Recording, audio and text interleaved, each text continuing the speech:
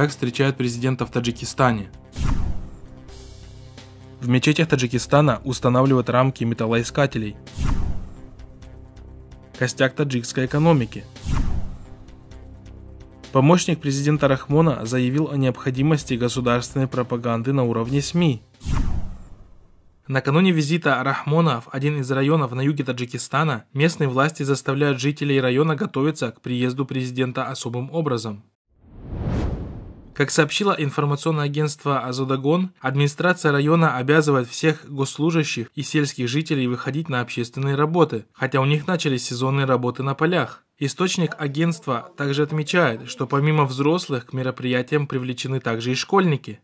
Абсолютно каждый день детей забирают из школы и репетируют парад. Школьникам бывает даже угрожают завалить на экзаменах. Всех заставляют ежедневно готовиться к параду. Учебы практически нет в школах района и прилегающих селах. Все заняты подготовкой к приезду Эмамали Рахмона. Что примечательно, на словах все довольны данными акциями. Однако люди боятся, что их допросят в спецслужбах, поскольку в районе очень много их осведомителей, чуть ли не каждый второй житель, сказал источник.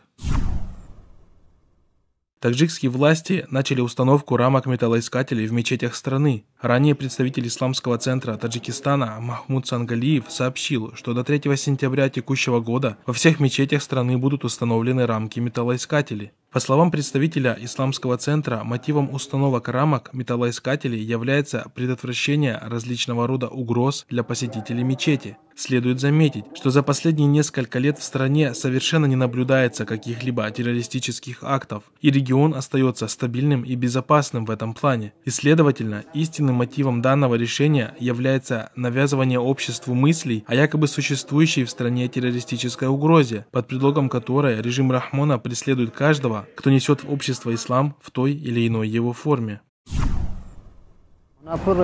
Денежные переводы трудовых мигрантов являются одним из основных источников в экономике и в сокращении уровня бедности в Таджикистане. Об этом заявил министр экономического развития и торговли Республики Таджикистан Ниаматулло Хикматулло Зада. Также министр отметил уязвимость таджикской экономики к внешним факторам, Основными источниками роста были государственные капитальные вложения и денежные переводы от трудовых мигрантов. Такой характер экономического роста обусловил уязвимость экономики к внешним факторам, отметил Хикматулло Зада 23 сентября 2016 года в Душанбе на презентации стратегии партнерства Таджикистана с Азиатским банком развития на 2016-2020 годы. Кроме того, министр сообщил о продолжающемся сокращении денежных переводов трудовых мигрантов.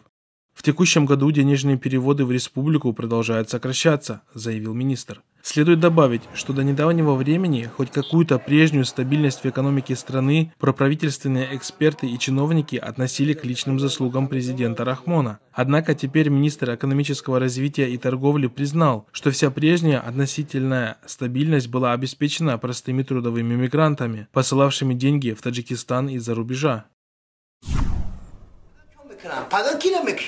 Для предотвращения народного недовольства существует необходимость государственной пропаганды через СМИ. Об этом заявил помощник президента по вопросам социального развития и связям с общественностью Шухрат Буриев. По словам помощника президента, террористы в условиях глобализации используют СМИ для подрыва стабильности. Страны, которые не могут противостоять информационной войне, сталкиваются с нестабильностью. Буриев также указал на роль СМИ. СМИ должны в этих случаях отстаивать национальные интересы и безопасность страны. Без участия СМИ стабильность в стране невозможна, заявил он 22 сентября 2016 года в Душанбе на конференции «Медиа в цифровой среде. Вызовы и возможности». Также, по его словам, распространение любой информации о событиях в стране в СМИ, которая не соответствует правительственным взглядам, следует расценивать как информационную войну против Таджикистана, а распространителей подобной информации следует считать террористами.